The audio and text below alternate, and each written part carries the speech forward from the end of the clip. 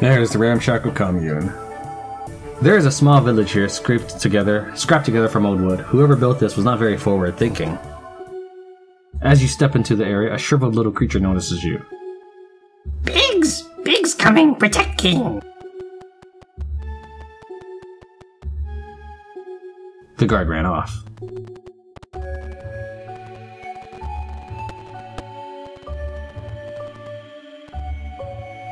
Needs an ordinary key. You have 25. Can't just like bash open the wall. Let's check out the rest of the place first.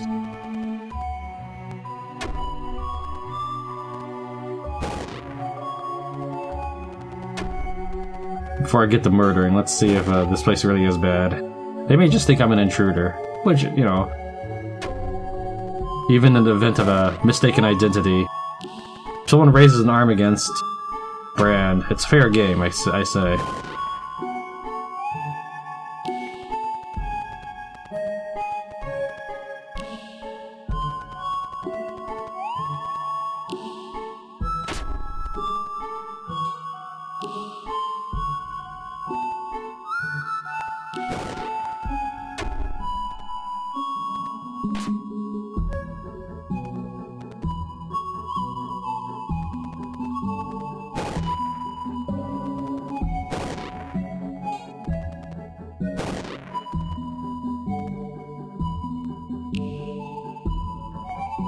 Thank the gods. Did you get them all? Yes, I totally did. My name is Shapiro, and I am, or was, a professor of sorcery. When I came under attack by these creatures, naturally I used my sorcery to defend myself. It worked, I suppose, for they were certainly in awe of me, but then they dragged me back here and said I was their king. They didn't ever plan to let me leave, and there were far more than I could hope to overcome alone, so I had no choice but to play along. Rest assured, I have no love for these diminutive savages, and I was never their king. He takes a deep breath and looks around. I've got to get out of this place, and as for you, sack it, loot it, claim it, or burn it to the ground for all I care. If there's anything of use to you, it's all yours. I just want out. And thanks. Perhaps if I'd been clever, I might have turned this rabble into something constructive. Ah, well, I don't really care. I'm not sure what brought you to this place, but I'm certain enough that it wasn't for the purpose of rescuing me.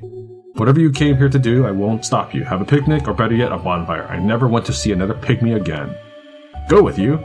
I must say I like the thought of being in the company of someone taller than waist height for a while. Why not? Well, it isn't as though I have anything to gather up, so let's be off. The sooner we quit this place, the better.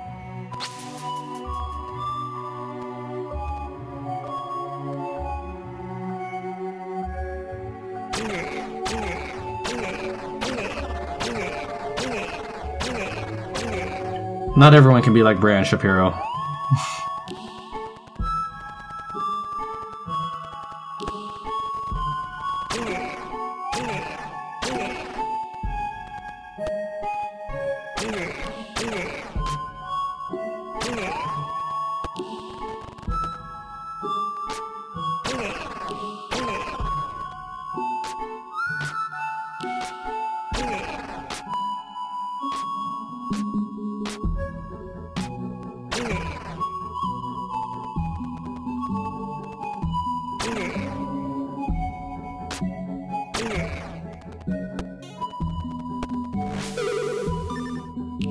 was a hard won victory.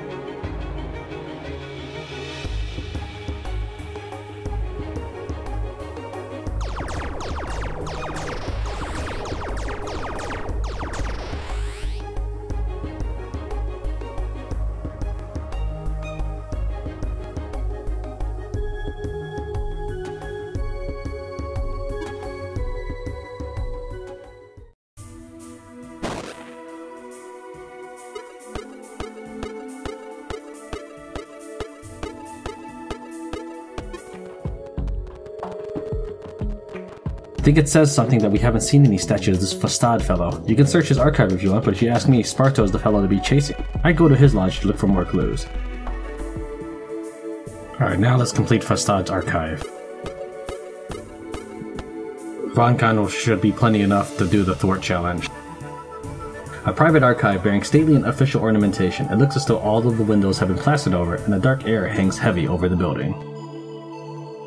This is Fastad's private study. I was here only once before. He was the last person I saw before meeting you. In fact, he came to the Oubliette, and whatever he did, I suppose is what spared me from the island's fate.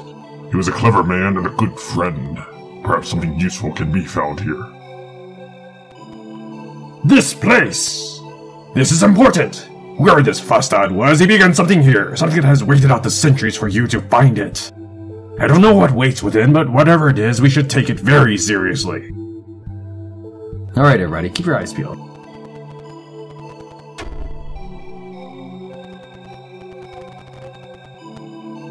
Worst of two.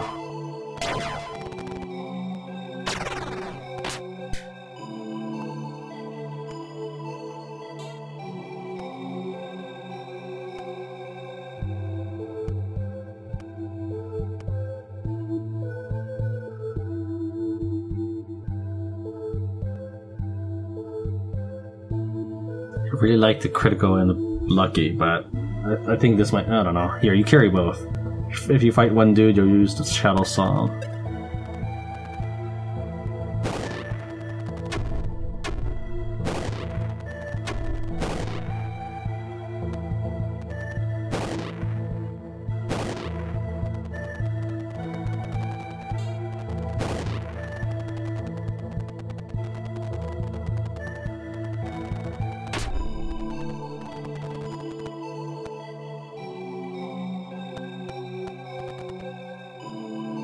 Started to click, click through it, and I don't think I read it earlier, so I'm gonna, read it a lot earlier, so I decided to click all the way through it so I could read it to you. The journal on the table is left open to the final entry.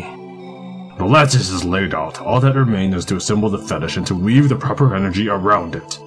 Haven't been able to secure nearly enough black glass, however, and I don't think I could find a suitably skilled craftsman in this social climate. Blast my luck. There is no more time. I shall have to attempt the ritual short-handed. If this succeeds, then I hope to strike a bargain with a being great enough to save us. If it fails, I suspect that an eternity drift the sea of stars awaits me. We shall see if I tire of the view. I pray that Maxim renders my efforts unnecessary.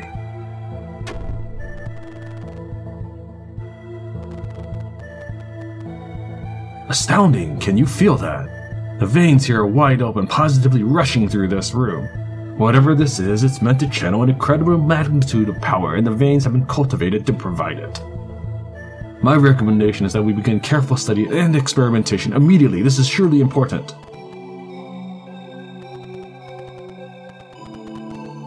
The altar is laid out in a purposeful fashion. It looks as though something is meant to be placed here as part of the ritual. Use the Devil Adonis to complete the ritual with the crystals in this configuration. You gently position the Devil Adonis in the center of the altar and attempt to complete the ritual. You focus the threads of mana onto the Devil Adonis. It glitters intensely for a moment. Something went wrong. The Adonis shatters into a million shards of obsidian the mana in the room goes still. Wait, what? Was I supposed to put them on after I lit the crystals? My bad. Well, the crystals you're supposed to light up are these two here. Uh, you have Poor and Tuss. And the lady, she kept saying like Poor Tom, and you know she couldn't really quite make it out. But it's not well. It doesn't sound like it. Lim might be, might sound like what you think the Queen's Diary was referring to, and Full doesn't really sound like it. So it's real. It, oh, here's one over here as well. Kai. So really, you've just got these two. Alright, so um, let me load and try that one again. So activate pour, toss.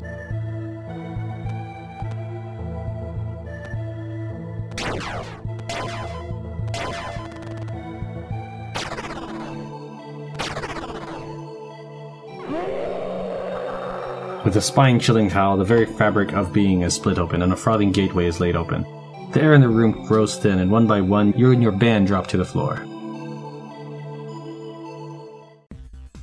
Uh, alert. Captain escaping bonds. Terminated. Lucat simulation. Nah, that's just post production humor. But that really is the screenshot for the game right now. Let's go to the actual narration. For a long moment, you feel as if you are being unmade, and your vision fades to darkness. The voices of your companions drift off into the ether. Ribbons of pallid light drift past as a great expanse of churning darkness yawns open before you. As if guided by an invisible current, you drift toward a black knot of something solid fading into your vision. A castle set adrift in the great nothing. You drift nearer still, and your feet gently make contact with the ground. Wherever this is, it seems the only way to go is to venture inside.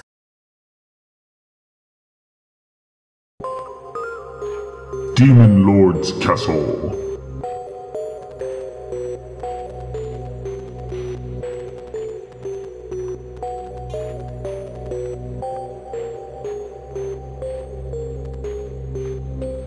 I am not interested in talking, mortal.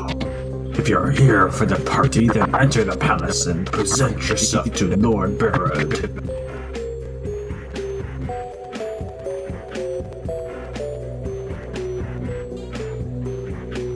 Keep your distance, mortal. I have no interest in harming you. I have interest in harming you.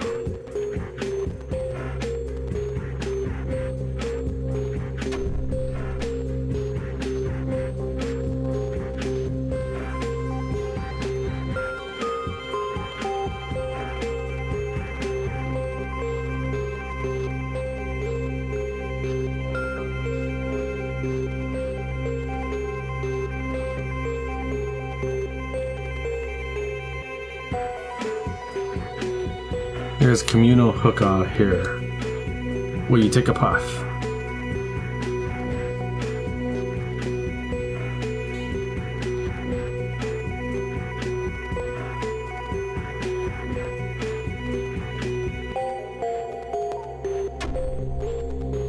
Explore first, then I'll talk to you.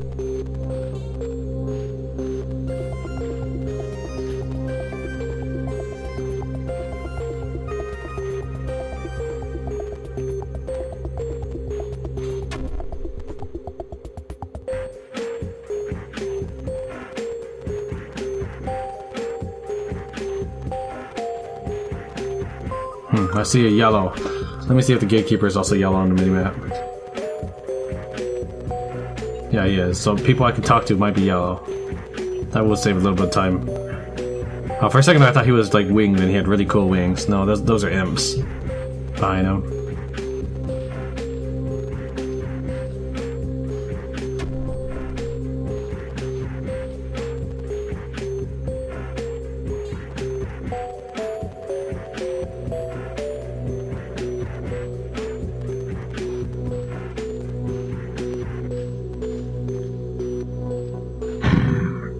Some others up on the area, but I'll brook no nonsense in the archive. Through one door or another, leave. There are several books on the table written in languages you do not understand. One, however, you can read. The Commanding Oak.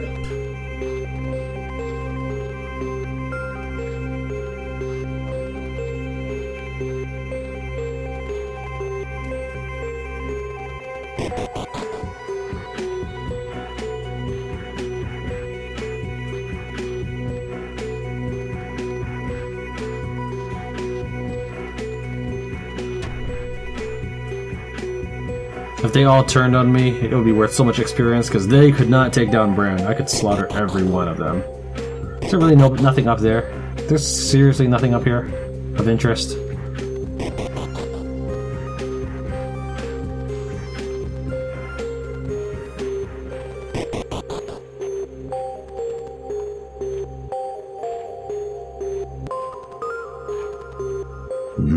To be here, love. This party ain't even been started yet, ha.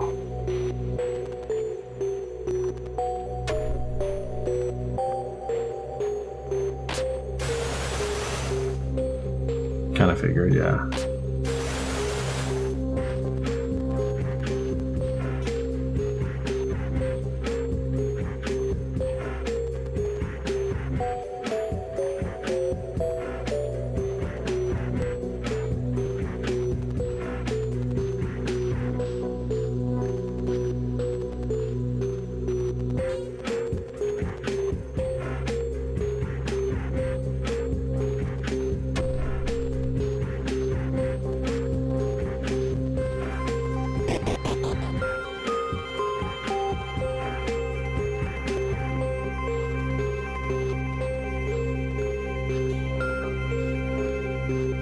That's everything.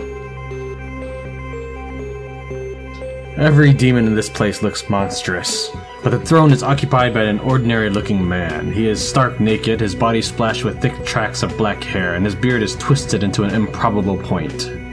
He catches your gaze, and his eyes shred through you from head to toe. There can be no doubt that this man, unassuming though he may appear, is a frighteningly potent demon. He makes a respectful gesture and calls out to you. Welcome, mortal, to my domain. I am Lord Barrow. Time is irrelevant here, so please make yourself at home and enjoy the party. Come and find me when you have had your fill of pleasure, and we shall discuss business. Time to discuss your business, yes? Very well.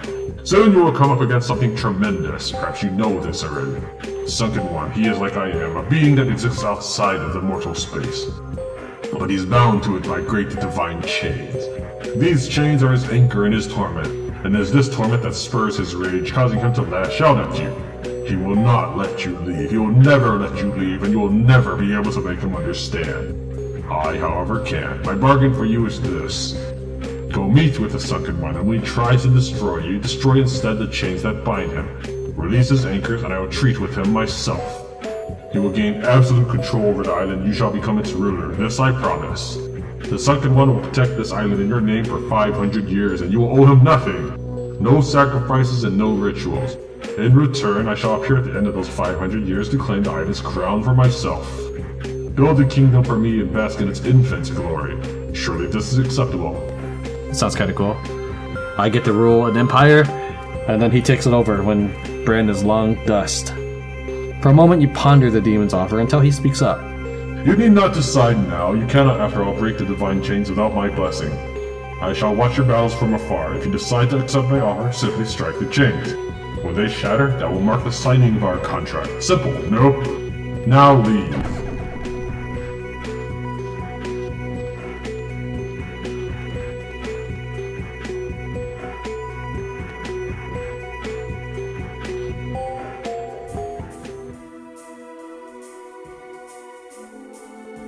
Marks the Demon Lord's castle. The portal that carried you to Lord Barrow's castle is now closed, the trip unnervingly fresh in your mind. You can almost still feel his eyes boring through you. Alright, the next time we play, we'll be sure to hit up the Arid Gate. Alright, thank you very much for watching Tran Wins Bastard Bonds. I'll see you next time, where we take on the Arid Gate and what lies behind it. Arid Gate. The dry heat emanates from the sealed gate. It's difficult to force your lungs to take in the air. Whatever is creating the heat must be behind the gate. My nose is completely stuffed right now. Uh, so hopefully that won't be too bothersome for you.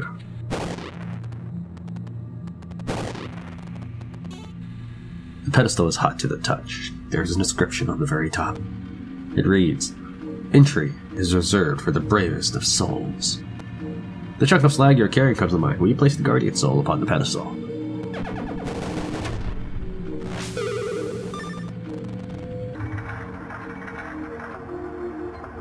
What's all this stuff again? Oh yeah.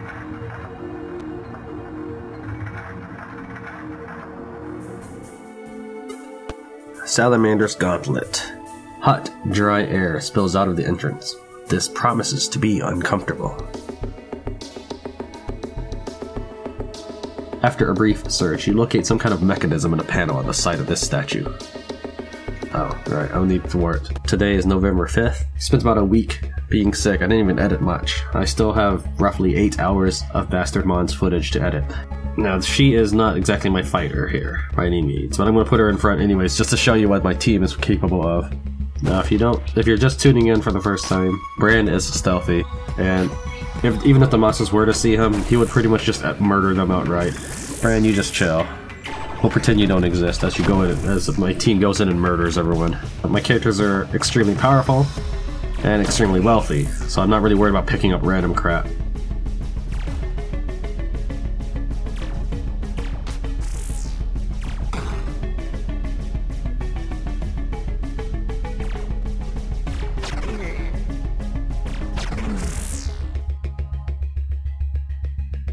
So, yeah, she just shrugged off that spell. They both fumbled.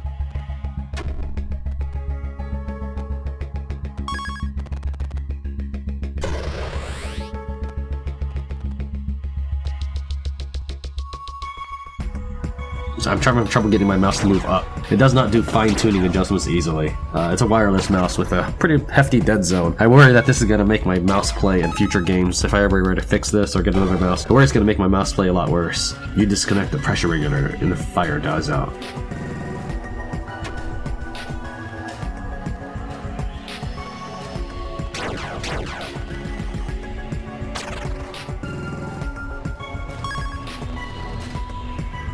You redirect the fuel into a hollow part of the statue, and the fires sputter out.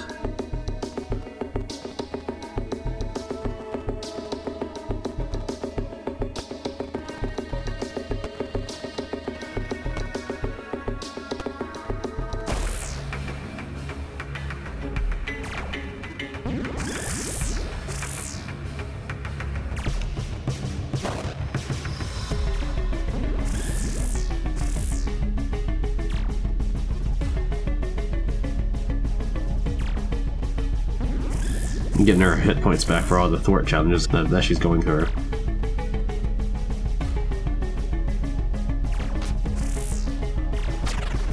So even though she's not my best fighter, she just took that hit very easily. She still has tons of hit points. She's got telekinetic, so disarm doesn't even matter.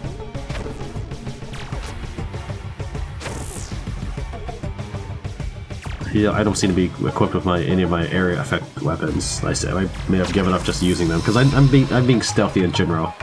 Right now, I'm just sort of every now and then I think I periodically need to improve my character's ability to fight. I guess it kind of keeps things interesting. I don't know.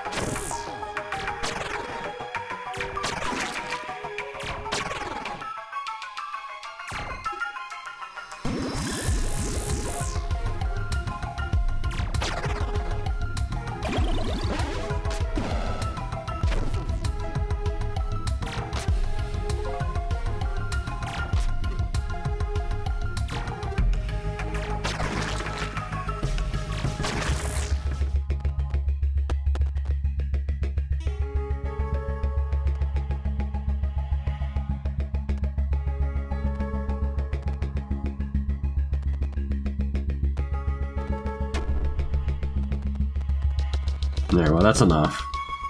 I think, I think Bray can go back to slaughtering everybody now. A quick search reveals an access panel and some inner mechanism. You gently shut off the fuel valve. Since she's telekinetic, I don't actually have to do this in whatever order. You kink a fuel line and hear something further inside the mechanism break. Once you get past 100%, you get less XP. So I was at 103. Fixing that gave me up to 108.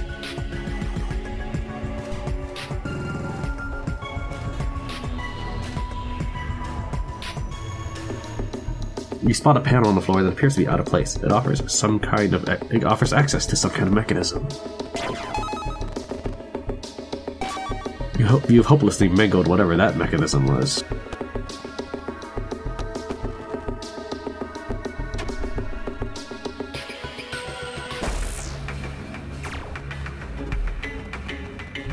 If you click too fast, even if you're holding shift down, you never let go. It, it actually doesn't register and will treat it as a cautious move.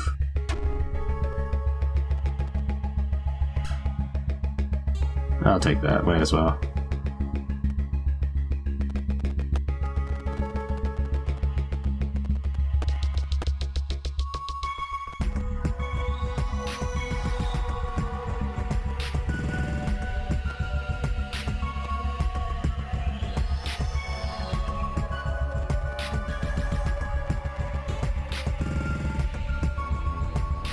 I doubt any of these is actually part of that puzzle, but I guess I'll go ahead and collect it.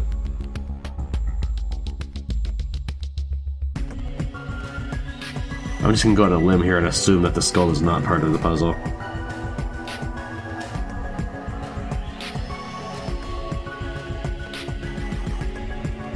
Oh wait, maybe if I take the ruby out of my porter.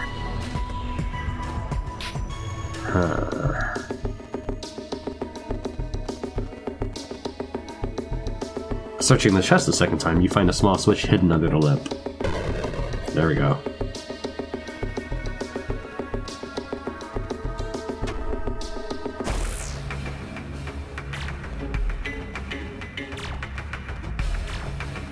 Mm.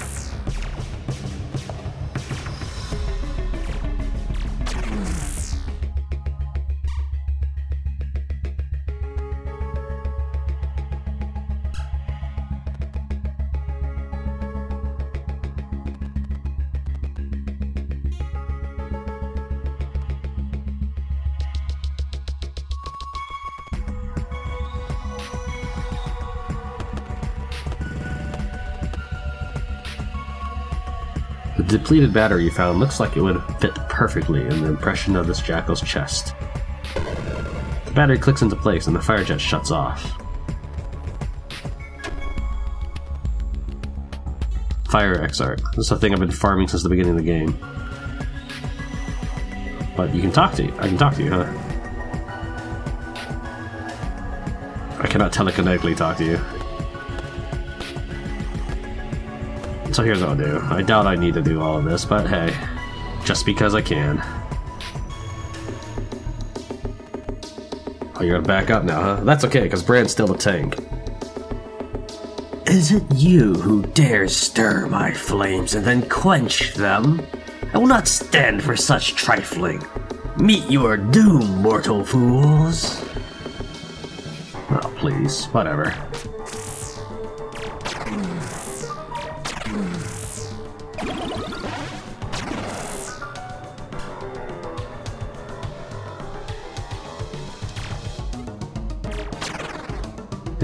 She's the weakest one, and you're still crippled by that strike.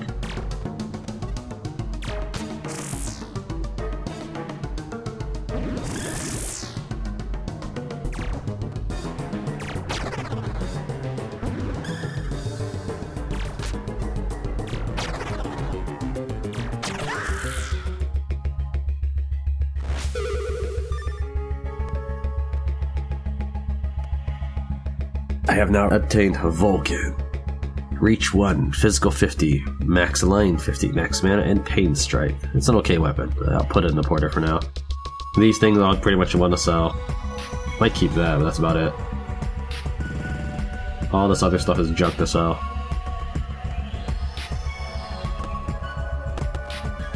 And that's it.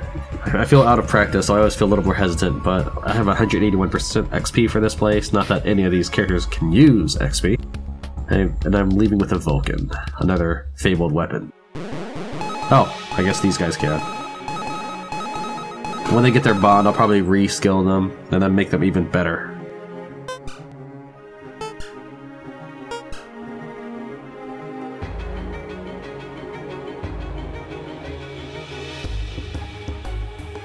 I want them to be 55, 55, 1, 38, 37, 36.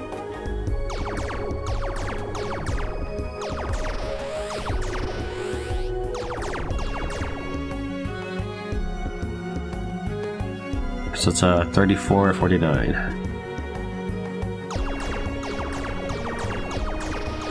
Let me uh, pause the recording, check out that everything is being recorded correctly and safely, and then we'll resume.